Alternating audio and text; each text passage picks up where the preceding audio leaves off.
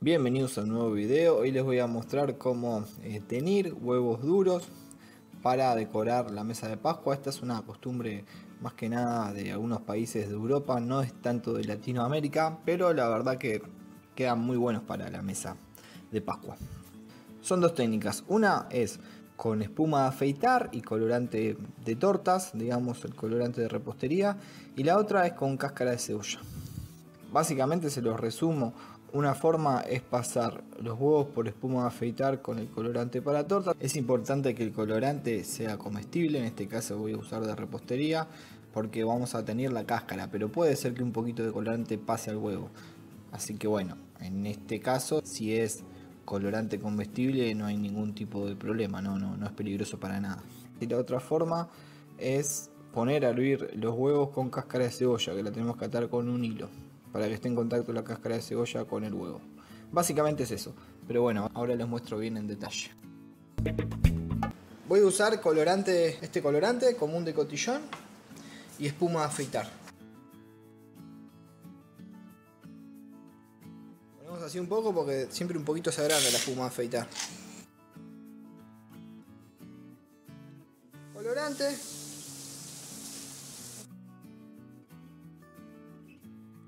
En realidad que es líquido que, y te tiras gotitas y sería más práctico en este caso. Pero no importa, yo uso lo que tengo en mi casa.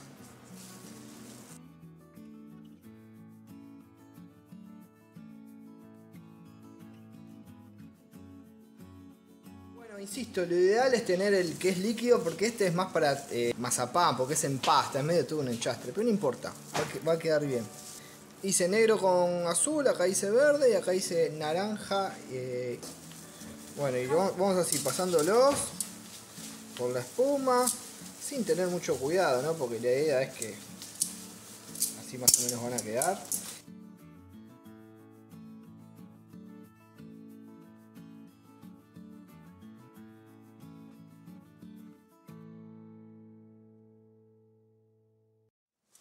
Lo que, lo que tiene es que se te mancha todo el guante. Vamos a agarrar un poco así con, una pinza, a ver qué pasa.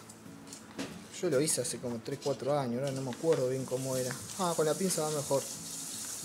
Porque si no se te manchan todos los guantes. Te va a quedar verde con amarillo.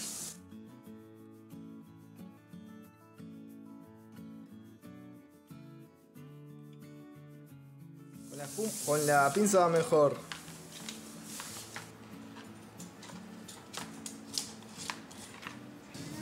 Bueno, ahora ya se va deshaciendo la espuma. Esperamos, no sé, después de una hora más o menos. Hora y pico. Así es como quedan. Hay que limpiarlos con servilleta porque yo recién limpié uno con agua. Y el agua como que le barre todo, le saca todo. Todo el colorante. Con la servilleta se conserva mejor el color.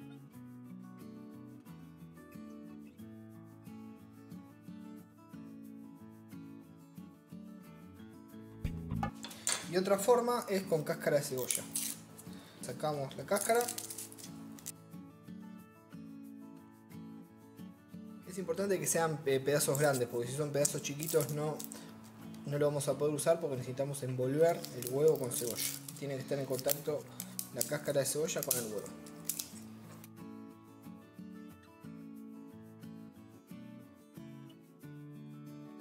Envolverlos con cebolla. Es un poco complicado, la verdad que no es muy fácil, pero con un poco de práctica sale. Un pedazo de hilo largo, así tenemos bastante para darle vueltas. Es importante que, como ya dije, que esté en contacto la cáscara con el huevo. Y ahora con hilo, el bono de coser, el, que tenga en la mano. Ah.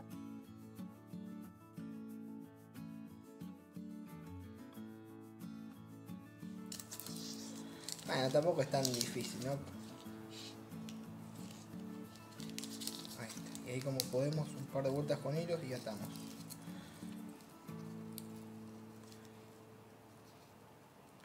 Esto lo pueden hacer con huevos. Eh, huevos de color, que son marrones. Ahora van a ver cómo queda. O también lo pueden hacer con, huevos blancos, pero no es necesario, si tienen de color, de color. Los otros, lo de la espuma afeitar, no, con huevos blancos, porque si usan huevo de color queda raro, porque al tener un fondo medio oscurito, medio marroncito, no va a quedar bien. Y así quedan los huevos envueltos con cáscara. Ahora los voy a poner a hervir.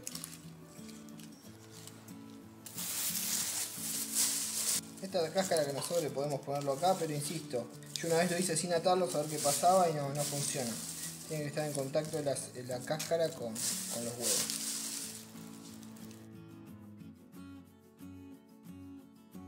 Dejamos que se enfríe en media horita y le sacamos el envoltorio. Este es el resultado final. Quedan tipo como veteados. Ahí está. Quedan así, con este efecto, ¿no?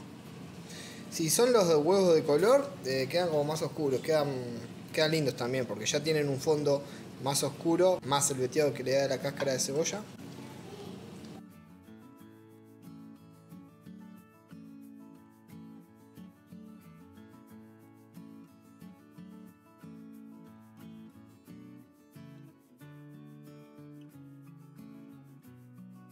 Un tipo para un taxi y pregunta, ¿cuánto vale un taxi hasta el aeropuerto? 50 dólares.